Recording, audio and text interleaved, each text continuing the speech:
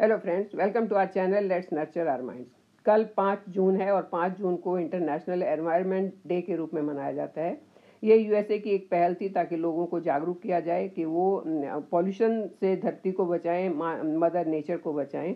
लेकिन सबसे बड़ी भूल ये है कि हम ये सोचते हैं कि हमारे, कोई और ही कर देगा। हमें क्या लेना देना इससे? लेकिन कोई कोई और कौन आएगा करने के लिए? सब जो भी गलतियाँ हम करते हैं एनवायरनमेंट को ख़राब करते हैं, वो ठीक तो हम ही को करना है।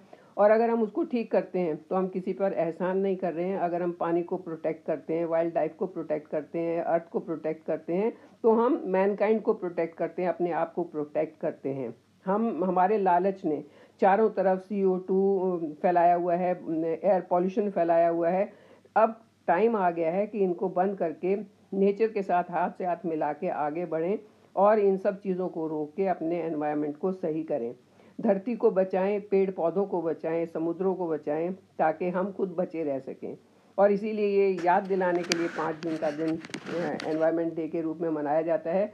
सिर्फ़ ये एक ही दिन नहीं मना के इसको अपनी रेगुलर अगर हम प्रैक्टिस में ले आएँ, सिर्फ़ अपने ऊपर ध्यान दें कि मुझे पॉल्यूशन नहीं फैलाना है तो बहुत फ़ायदा होगा। आप चाहे बीच पर जाके देख लें, वहाँ भी यही हाल है, चारों तरफ़ कचरा फैला हुआ है। So if we will not kill the pollution then pollution will kill us ये एक बहुत बड़ी सच्चाई है, इसको मान लेना चाहिए। और हमें इस के लिए एक सॉल्यूशन बनना है, ना कि पार्ट ऑफ़ पॉल्यूशन बनना है। मतलब पॉल्यूशन नहीं फैलाना है उसको हटाने के लिए सॉल्यूशन हमको निकालने हैं, हमको सॉल्यूशन ढूँढने हैं।